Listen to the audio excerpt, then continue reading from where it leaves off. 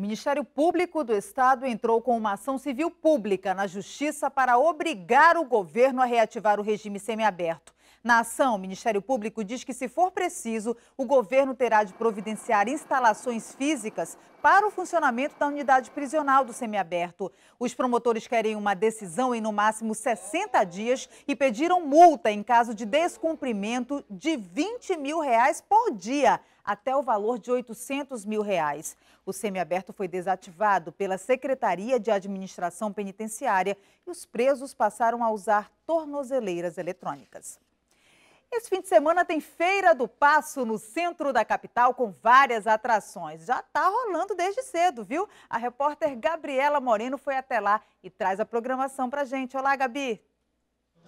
É isso mesmo, Mariana. Essa é mais uma edição da Feira do Passo aqui no Centro Histórico de Manaus. Um evento para toda a família que acontece sempre no segundo fim de semana do mês. Tem muita música e mais de 100 empreendimentos entre produtos criativos, gastronomia, artes e espaço infantil. O evento começou hoje e segue até amanhã, no domingo, a partir das 4 horas da tarde. Volto com você, Mariana.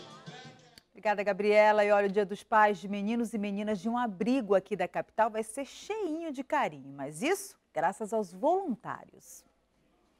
É um desses lugares onde crianças encontraram pais. Um cantinho seguro para quem foi vítima de violência ou está em situação de risco. 21 crianças e adolescentes de 0 a 18 anos vivem nesse abrigo no Parque 10. Algumas vieram parar aqui depois de medidas protetivas estabelecidas pela Justiça.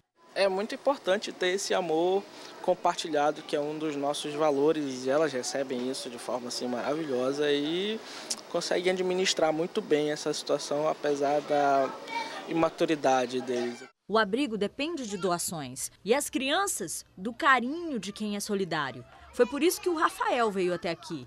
Ele é design, trabalha com o desenvolvimento de bicicletas e usa o talento que tem para cuidar das bikes de meninos e meninas.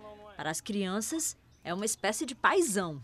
Admito que pelo tempo que eu passo com eles, assim, eu sou mais o vô que estraga do que o pai que educa, né? Mas, mas é bom poder dar o carinho e receber o carinho deles. Nem tem problema, Rafael. Por aqui o dia foi dedicado aos papais do coração, aqueles que têm família mas que tiram um tempo para cuidar de quem perdeu o convívio com o pai.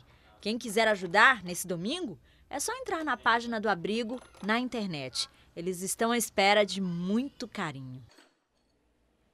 Pois é, né? Amanhã, domingo dos pais, é dia de curtir os filhos, para muitos deles. Mas nós fomos em busca de histórias de pais que superam obstáculos para estar pertinho e aproveitar ao máximo os filhos. É história de amor que os repórteres Davis Alberto e Patrícia de Paula contam agora.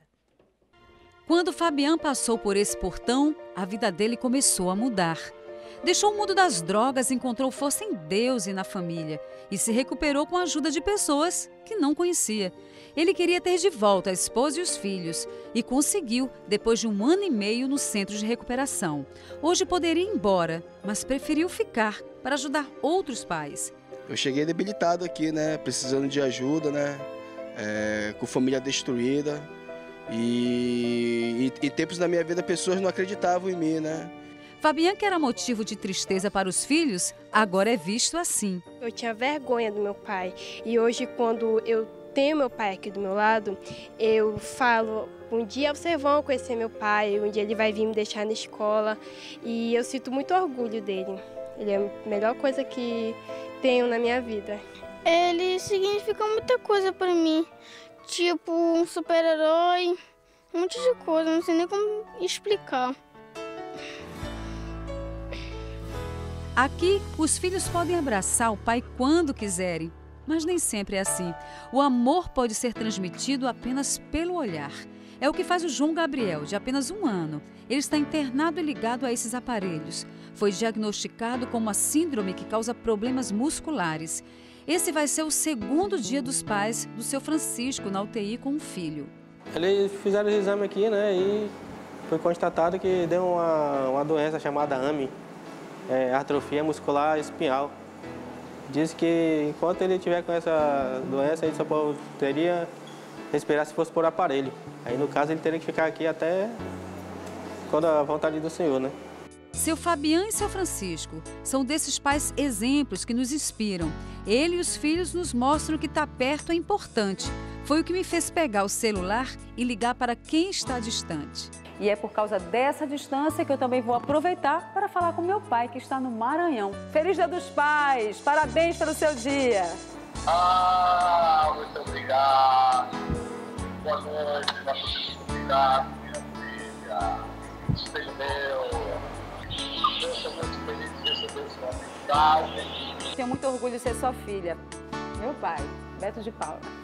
Difícil é não se emocionar e fazer dessa data criada para incentivar as vendas no comércio um dia dedicado a eles, de verdade, com demonstração de carinho e muito amor. É muito amor, né? São histórias de amor que podem, inclusive, mudar momentos. Pessoas aí que estão brigadas com o pai de repente. Vamos mudar essa história agora? O Jornal em Tempo termina aqui, mas você pode acompanhar a nossa programação pela internet na nossa página do Facebook e também no YouTube. Muito obrigada pela companhia, uma ótima noite e, é claro, um feliz Dia dos Pais para todos nós. Até segunda.